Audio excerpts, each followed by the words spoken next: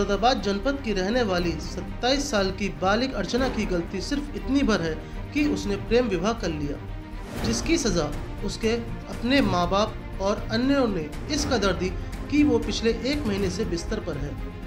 बेरहमी से की गई पिटाई के कारण अर्चना के दोनों पैरों और एक हाथ की हड्डी टूट गई है, जिन पर प्लास्टर लगा हुआ है। विगत 19 जुलाई में हुई घटना के बाद से आज तक किसी भी आरोपी को गिरफ़्तार न होने के कारण आज अर्चना के ससुराल पक्ष के लोग उसे एक एंबुलेंस में डालकर एसएसपी मुरादाबाद के कार्यालय पहुँचे जहाँ पर पीड़िता ने कैमरे के सामने हाथ जोड़ते हुए मुख्यमंत्री से कई सवाल पूछते हुए न्याय की गुहार लगाई। घटना आपके साथ हुई? घटना मेरे मायके वालों ने मारा है मुझे बहुत। उन्नीस तारीख को। को मारा है आपको? मैंने खुद अपने आप शादी की है। कहाँ पर की आपने शादी? पूरी बात बताएँ। गणेश घाट। थाना मुन्ना पांडे। अच्छा तो फिर अब अब क्या इस बात को लेकर मारपीट की गई है? मैं मतलब अपने ससुराल गई थी और अपनी मर्ज़ी से। तो उनका कहना था कि क्यों आई है यहाँ? इसलिए उन्होंने मुझे घर में से खींच के खाना खा रही थी मैं थाली में से थाली पे खाना खा रही थी। उठा कर ले गए मेरे चचेरा भाई और ताऊ का लड़का। नाम बताओ उसके नाम। संजय और राजकुमार। वही बात मैं अपने मतलब माई के मतलब माई का ससुराल मेरा वहीं का है ना एक ही गाँव का। ससुराल गई थी मैं। मायके से मेरा कोई मतलब नहीं था। जब मैंने खुद कोर्ट मैरिज कर लिया था तो मुझे वहाँ जाना ही क्यों? तो अपने आप हो जाती। अच्छा शादी आपने अपनी मर्ज़ी से की। हाँ। इस बात का विरोध आपके मायके वाले कर रहे हैं। हाँ। तो किन किन लोगों ने आपके साथ की बहुत सारे लोग थे आठ नौ लोग थे। आपके माता पिता भी शामिल है? हाँ मम्मी पापा भाई और चचा ताऊ और उनके लड़के। थाने पर शिकायत की थी आपने? की थी कोई सुनवाई नहीं हुई। आज तक कोई सुनवाई नहीं हो रही है। अच्छा शादी को कितना समय हो गया? शादी को बीस अप्रैल में हुई थी। तो थाने पर गए आप लोग शिकायत दर्ज कराने के लिए? गए थे तो कोई शिकायत नहीं कोई कुछ नहीं हुआ। तो अब कहाँ पर आए आप लोग?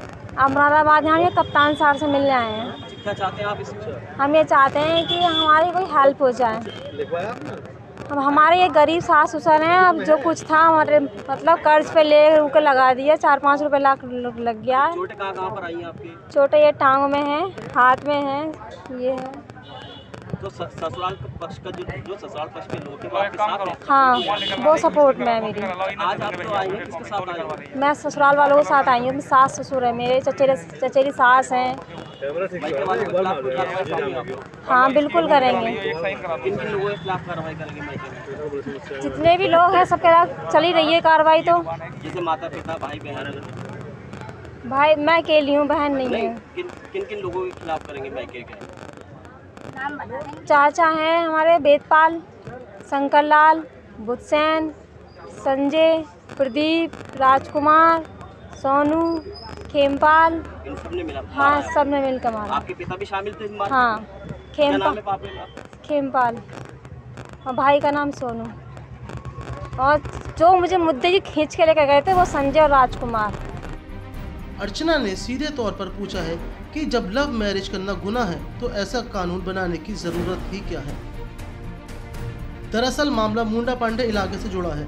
पीड़िता अर्चना के अनुसार, उसने गाँव के ही एक युवक से चार महीने पूर्व प्रेम विवाह कर लिया था, जिसके बाद उसके घर वालों ने इसका विरोध किया और विगत 19 जुलाई को उसकी ससुराल से खींचकर उसके माँ बाप और भाइयों से बीच सड़क उसकी भेरे में से पिटाई कर डाली।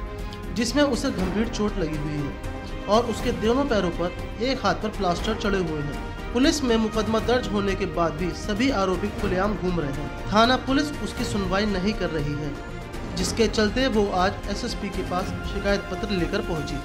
तेईस साल की लड़की को उसी की माँ बाप ने लव मैरिज करने पर इतना मारा कि एक महीने से वह बिस्तर पर पड़ी हुई है। क्या लव मैरिज करना एक खता है? और अगर खता है तो लव मैरिज कानून क्यों बना हुआ है? असल में हम आपको बता दें कि ये मामला थाने मुंडा पांडे का है, जहाँ पर एक लड़की ने चार महीने पूर्व एक अपने ही गाँव के लड़के से शादी कर ली थी, जिसको लेकर लड़की के परिवार में बहुत ही गुस्सा नज़र आ रहा था, जिसको लेकर लड़की के घर वालों ने मौका पार पर लड़की को इतना मारा कि वो एक महीने से बिस्तर पर पड़ी हुई है, जिसकी शिकायत थाने में भी कर दी गई है। लेकिन अब भी मुजरिम खुलेआम घूम रहे हैं, जिसको लेकर आज वो एक शिकायती पत्र एसएसपी को महोदय को देने आई हैं। मैं हनी अग्रवाल, आज मीडिया ग्रुप से।